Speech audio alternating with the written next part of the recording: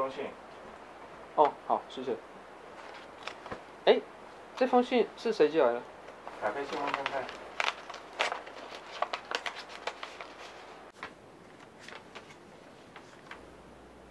Dear friend, it's been a while since I've talked to you last time. Of course, you're probably wondering who sent this to you. Well, to start off, this is a class assignment I got the other day in my English class. Welcome to the first day of 10th grade English. My name is Mr. Kwan. Uh, so to get to know you guys a little bit better, I have a writing assignment for you. Take these, pass them down. So for this paper, I want to hear you write in your own voice. The assignment is for you to write a letter to an old friend, maybe somebody that you haven't talked to in a while. Um, you're going to definitely be turning these in to me at the end, so if you'd like to keep a copy to actually send, you know, make two copies. But here's the trick, guys. Uh, for this particular assignment, I want you to leave your name off of it. No identities, no names. Uh, of course, you're going to want to try to not be too obvious about it. Anyways, you know, think outside the box, have a little fun with it. I'm really excited to see what you guys come up with. So, I'm thinking about how to write this letter and who to write it to. Since you're my friend we are just children, I figured it'd be best if we could talk again. But to remind you of who I am, I would like to describe myself in a rather unconventional manner. I have a string of different ideas all tied together, but they all construct a single person. I like to call myself a man of opposites. I like to say I'm a dreamer. In my head, I have the ability to do whatever I want, my creativity flying senselessly. But I'm not passive.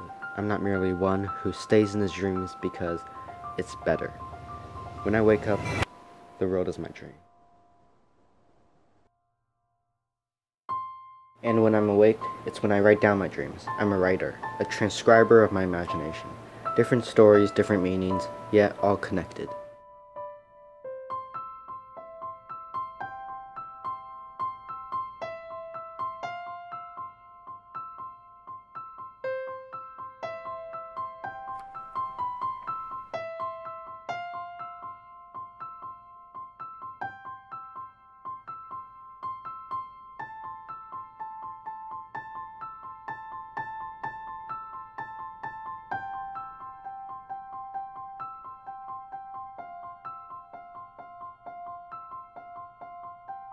While I am a man of few words, I am one with vivid stories to tell.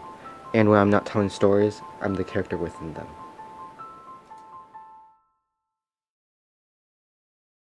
The quick passing of time as I absorb the city lights is the energy of it all. People moving, cars rushing, lights blinking. No one cares about anyone else. On and on, the city life drives on.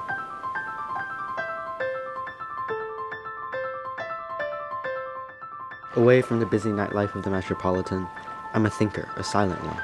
It's your typical walk on the beach, nothing special. But thoughts are creating the noise within. They fly by, making no more noise than the lapping waves.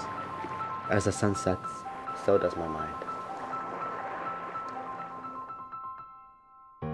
But when silence isn't enough, I express it through music.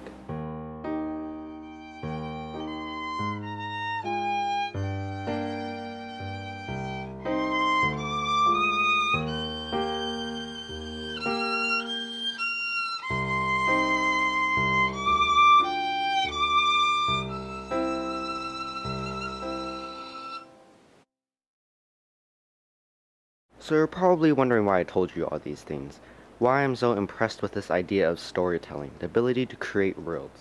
In the end, I'm not just the writer, the dreamer, the thinker, but I end up living my stories in the worlds that I make. It starts like this. The paper I'm typing on the street light in the city. Across the street, walking by the side, the characters I make, I inhabit myself.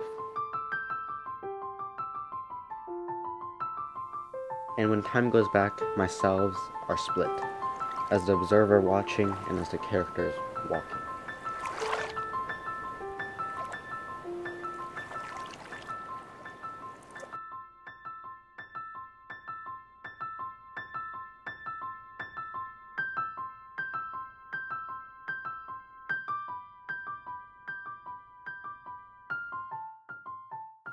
All goes back.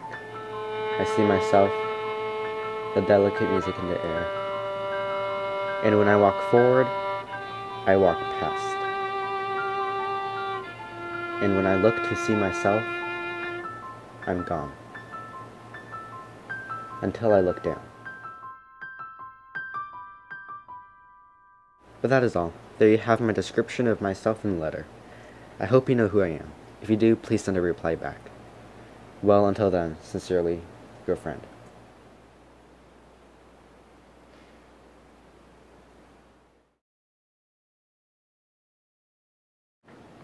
能不能帮我寄这封信？？OK